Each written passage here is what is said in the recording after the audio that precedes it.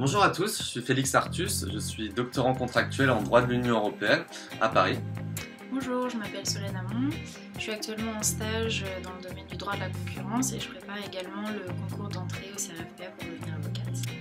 Le parcours Europe, c'est une formation intéressante dans le sens où elle permet de compléter une spécialité, pour ma part le droit, avec une culture générale dense, alliant à la fois sociologie, géographie, philosophie et encore bien d'autres choses.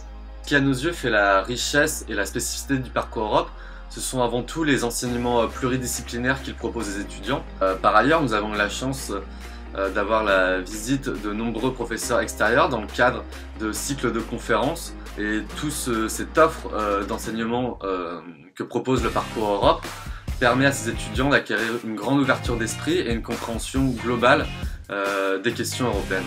Le parcours Europe, c'est une ouverture d'esprit, grâce à des professeurs impliqués qui poussent à la réflexion. Un autre élément central dans la formation délivrée par le Parcours Europe, c'est l'enseignement des langues. Euh, l'université n'est pas connue en général pour être euh, très efficace, pour permettre aux étudiants de poursuivre euh, l'étude des langues.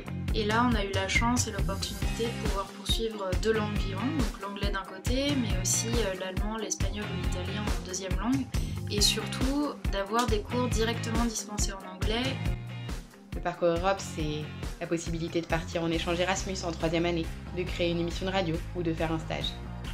Chaque promotion du parcours Europe rassemble également un nombre limité d'étudiants euh, chaque année, ce qui est une véritable chance à l'université. Et ceci permet d'avoir des enseignements très dynamiques, avec une véritable interaction qui se crée entre le groupe d'étudiants et les enseignants. D'ailleurs, cela permet un accompagnement et un suivi euh, presque individualisé et privilégié des étudiants par l'ensemble de l'équipe pédagogique. Et ça nous a permis, que l'on soit dans la filière euh, droit, philo ou même dans les langues, d'avoir une grande diversité des voies euh, ouvertes à nous pour la poursuite de nos études.